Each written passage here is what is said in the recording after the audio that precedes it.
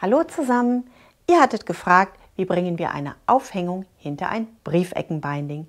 Hier sind vier einfache Möglichkeiten. Herzlich willkommen bei Needle Engine. Mein Name ist Elke und wir legen los.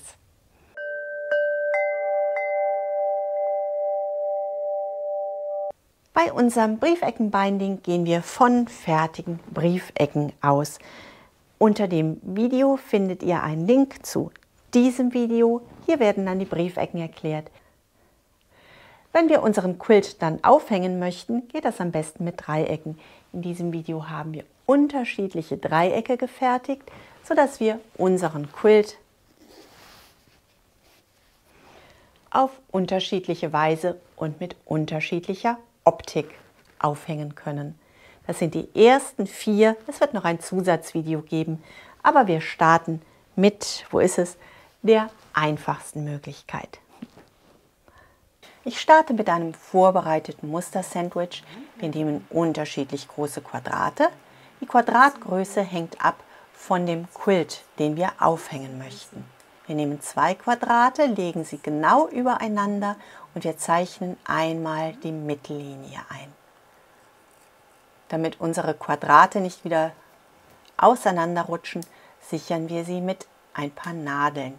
Ich nehme hier gerne die ganz kleinen kurzen Nadeln, weil man dann komplett nähen kann und sie stören nicht.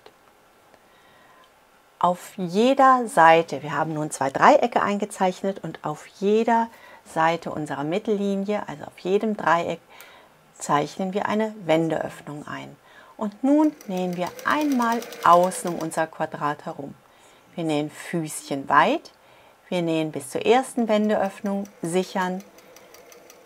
Wir lassen die Wendeöffnung frei und nähen auf der anderen Seite Füßchen weit weiter. Auch hier sichern wir die Wendeöffnung und auf der anderen Seite machen wir das ganz genauso. Wenn wir einmal komplett um unser Quadrat herum genäht haben, nähen wir rechts und links unserer in der Mitte eingezeichneten Linie. Auf diese Weise erhalten wir zwei gleiche Dreiecke, in die wir später einen Stock schieben können. Wir schneiden die Spitzen von unserem Quadrat zurück und wir schneiden unser Quadrat in zwei Dreiecke, genau über die eingezeichnete Linie. Das Ganze wenden wir und wir richten das Ganze mit dem Falzbein ein bisschen aus. Unsere nun fertigen Dreiecke bügeln wir und damit das Ganze gut hält, nähen wir noch einmal außen knappkantig um unser Dreieck herum. Und unsere ersten beiden Aufhängungsdreiecke sind fertiggestellt. Für die erste Methode starten wir mit einem schon komplett fertigen Quilt.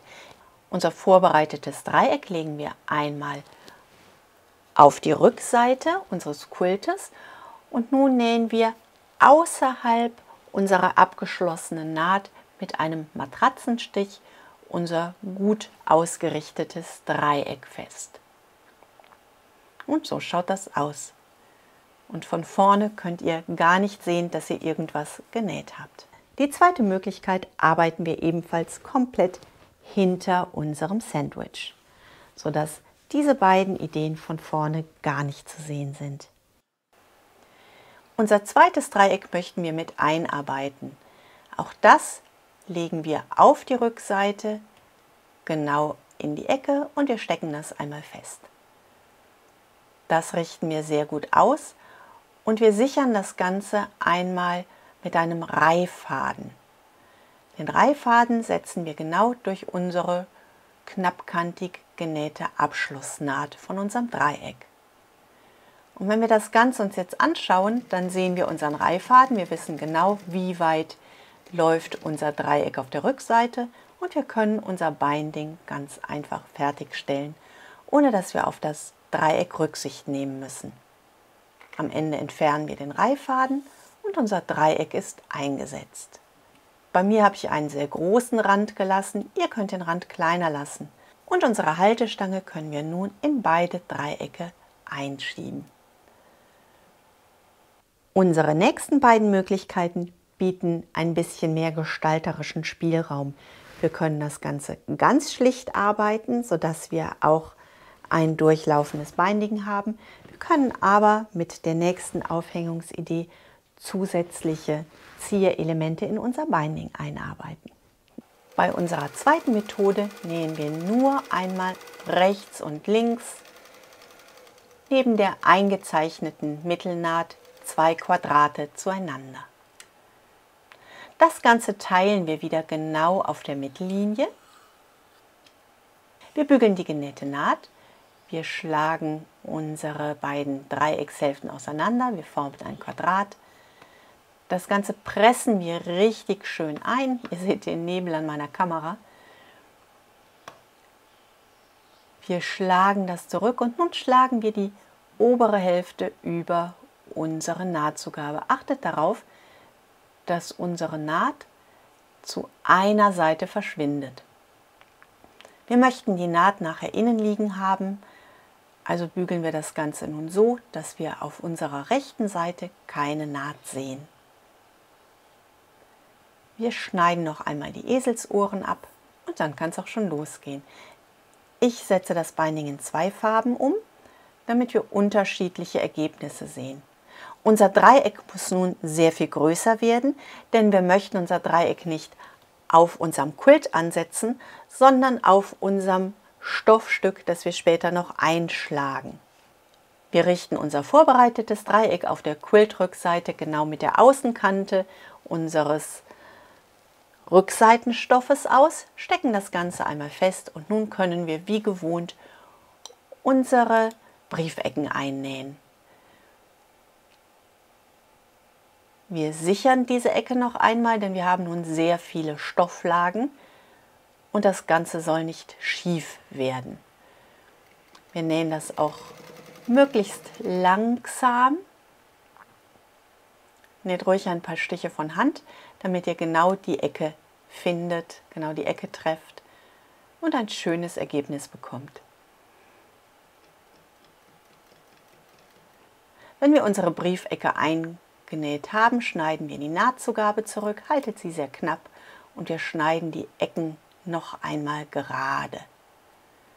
Das Ganze schlagen wir zurück und wir möchten nun unsere Briefecken ausformen.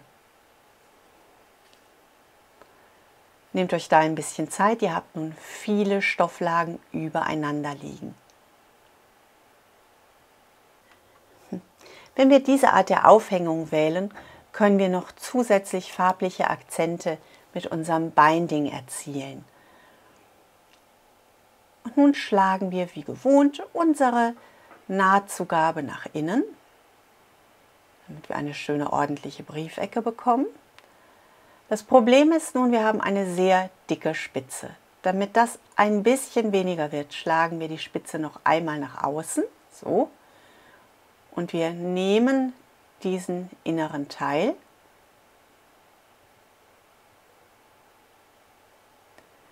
und schneiden jetzt nur ein Stück von der Spitze ab.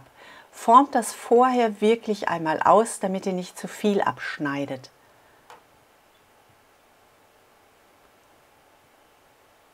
Ihr müsst den Stoff noch nach innen schlagen können, ihr möchtet aber nicht diese kräftige Spitze haben. Und so schaut das dann aus. Wenn wir das gut ausgeformt haben, bügeln wir das Ganze einmal. Bügelt das richtig gut ein, denn wir haben wirklich viele Stofflagen und unsere Maschine muss da schon ein bisschen arbeiten. Und je genauer wir das vorbereitet haben, je schöner wird da das Ergebnis. Und wir nähen knappkantig unsere Binding-Kante ein.